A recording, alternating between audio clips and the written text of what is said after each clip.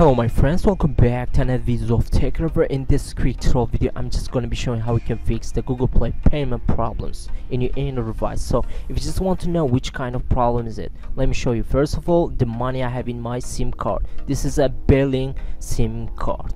So once I got here on my the game, just want to buy some stuff like cheaper than that money, like this one which is 6.99 lira. So when I click to buy it, but I had like 7.50 lira so you can see it's now processing but I got that payment unsuccessful. So I just want to show you how we can fix this problem. This is very all because of the Google Play payment. So what you have to do click on the profile click on the payment and subscriptions click on uh, payment method and once you got here click on more payment settings and after you got on this page you will get your payment methods so you have to refresh them.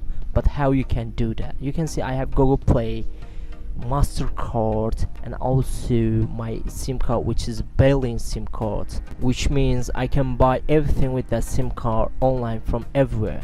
So you just have to remove one by one like this. I'm going to remove my MasterCard and after adding that it will be refreshed just here on my Google Pay payment methods. So click on next and you can see I got the SIM card. I'm going to click on remove and after that I'm going to click on this one and click on save. After removing all the payment methods you will get access only the Google Play payment. So if you have the money on your Google Play payment it will work 100% to spend it on the game or somewhere here online websites now from here you can add your debit or mastercards and if you just want to buy your diamonds you can add a diamond from the game. So let me show you how we can add it. And after that it will be refreshed and I, I think the problem will be solved.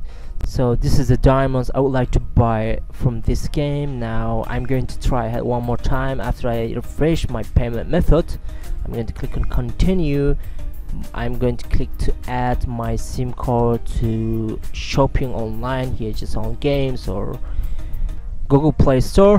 Once it has been done like this I'm going to click to buy it.